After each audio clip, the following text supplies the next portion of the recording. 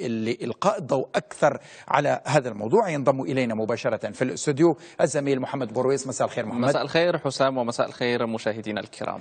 إذا يعني محمد هي الخطوات الأخيرة أو بالأحرى اللمسات الأخيرة يعني نحو تفعيل التغطية الصحية لفائدة الطلبة. بالفعل هو المرور إلى السرعة النهائية من أجل تنزيل هذا نعم. المخطط. أبرز رئيس الحكومة عبد الإله بن كيران أن مشروع التغطية الصحية للطلبة يندرج في إطار الإرادة الحكومية لبلوغ التغطية الصحية الشاملة وتحقيق العدالة الاجتماعية منذ المصادقة على خطوطه العريضة نهاية العام الماضي.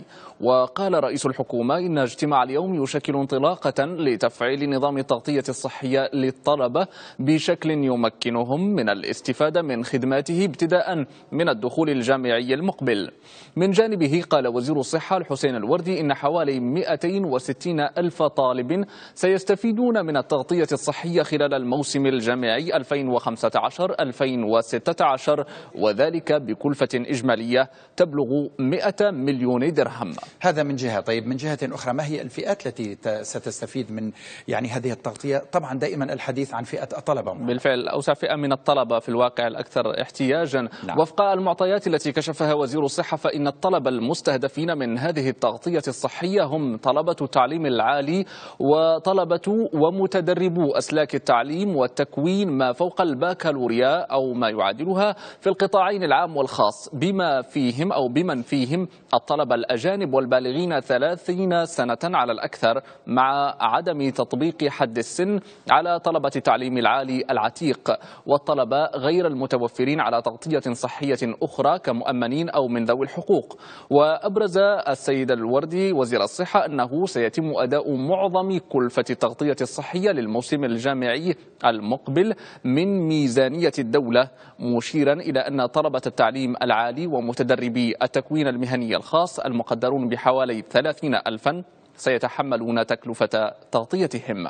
طيب كيف سيتم تفعيل وتدبير هذا المشروع محمد أمام الأعداد الكبيرة للمتدخلين؟ بالفعل على ثلاث مراحل تقريبا سيتم تدبير التغطية الصحية للطلبة من طرف الصندوق الوطني لمنظمات الاحتياط الاجتماعي إذ سيستفيد الطلبة من نفس سلة العلاجات التي يستفيد منها موظفو القطاع العام وستتم أجراءة هذا المشروع عبر ثلاث محطات تشمل أو تتمثل في انخراط مؤسسات التعليم والتكوين وتسجيل الطلبة في نظام التغطية الصحية لتتوج باستفادة الطلبة من خدمات النظام.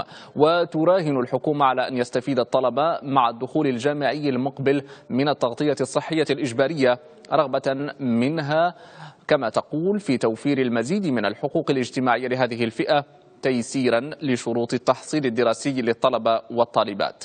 طيب في ظل كل هذه المعطيات محمد أين نحن اليوم من التغطية الصحية الشاملة؟ ماذا عن النسب والأرقام المتعلقة بذلك؟ بالفعل التغطية الصحية للطلبة هي حلقة من مسلسل توسيع سلة التغطية الصحية في المغرب. نعم. بعد تمكين أو يعد تمكين جميع المواطنين من التغطية الصحية رهانا أساسيا للسياسة الصحية العمومية إذ يحاول المغرب توسيع قاعدة المستفيدين من التغطية الصحية الإجبارية منذ إقرارها عام 2005 وبالفعل فقد توسعت قاعدة المشمولين بالتغطية الصحية فبعد أن كان عدد المستفيدين من التغطية الصحية الإجبارية يناهز بالكاد 34% انتقلت النسبة إلى 62% حاليا باحتساب عدد المستفيدين من نظام المساعدة الطبية غماد فيما لا تزال نسبة 38% تقريبا من الساكنة خارج أي نظام للتغطية الصحية. وتشمل هذه النسبة أصحاب المهن الحرة والمستقلين والطلبة الذين من المرتقب أن يدخلوا تدريجيا اعتبارا من هذه السنة تحت مظلة التغطية الصحية. وأرقام ونسب وتوضيحات كافية ووافية حول التغطية الصحية الشاملة والتغطية الصحية المتعلقة بالطلبة. الزميل محمد برويس دائما ما تفيدنا بمواضيع مهمة في مجالات مختلفة. شكرا جزيلا شكرا لك حسام. شكرا, شكرا جزيلا, جزيلا.